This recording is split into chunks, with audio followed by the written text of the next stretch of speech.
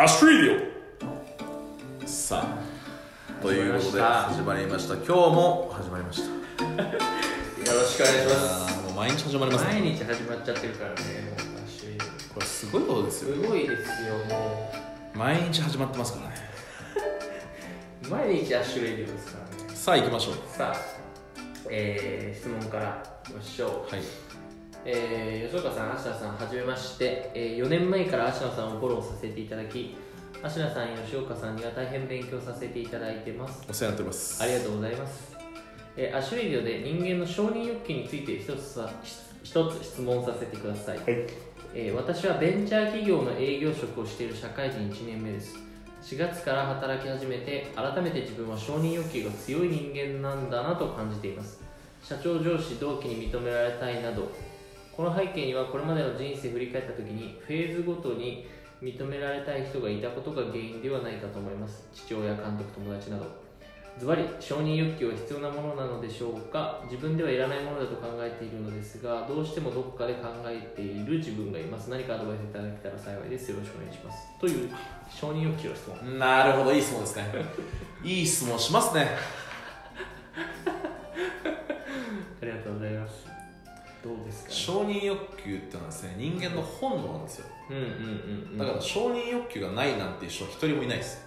うーん。100人いたら100人が承認欲求がある。うんうんうんうん必ず承認されたいっていう。うんうんでその承認されるっていう形がいろいろ違ったりするんですよね。あっていうだけで承認欲求がある。って別に悪い全然悪いことじゃないじゃないですーうんうんうんうんあとは、うまあ、体欲は無欲に似たりっていうお話があってですね。これは一回どっかで話した話し話した。かも、なんか要は欲望がでかすぎるとまるで全く欲がない人だみたいなに見えうる、どういう原因なんですかそれ？欲望がでかすぎると。例えば自分の欲求が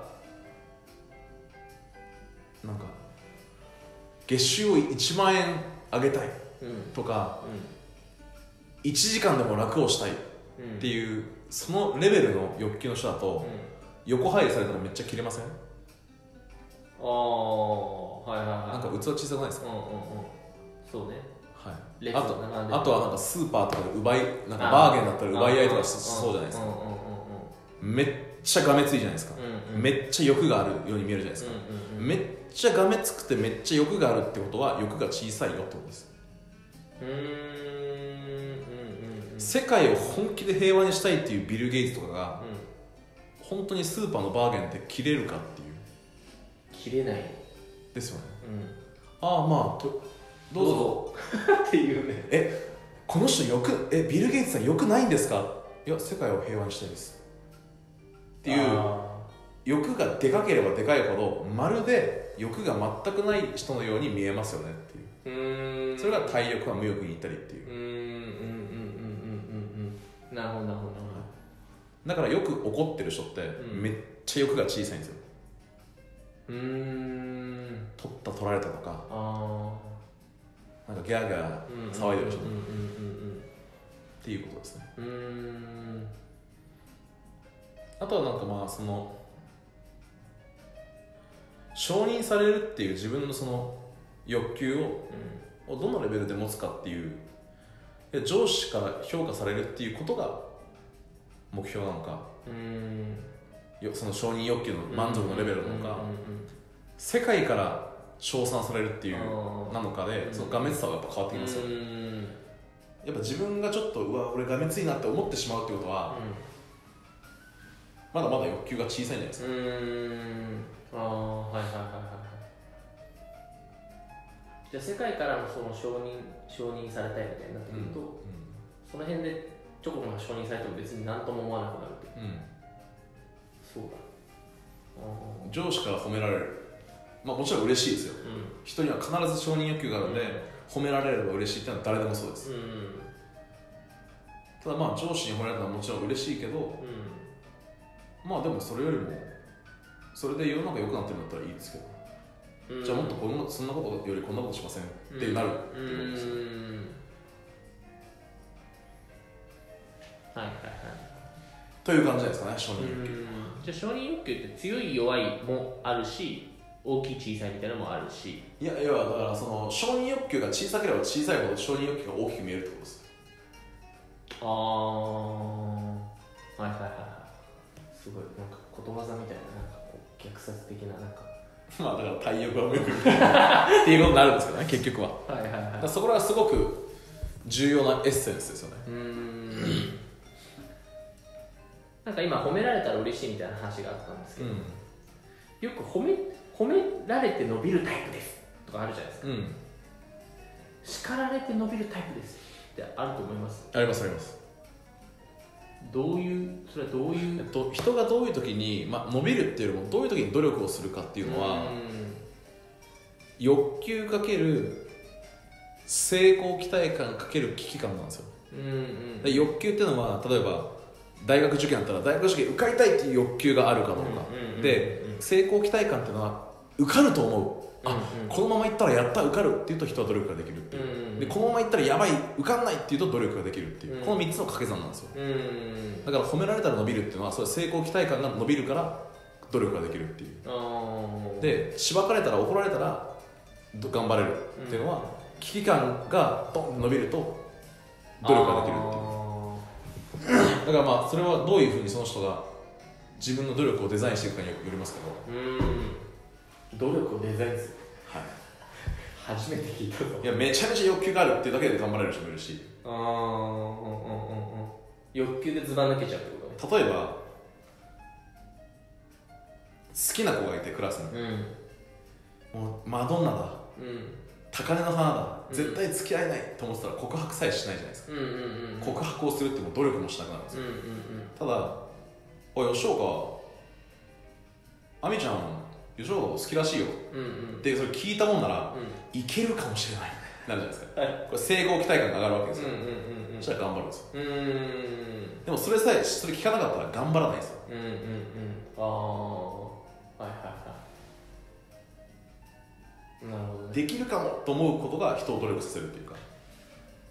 ということはできるかもって思えないことは努力しにくいってことそうです。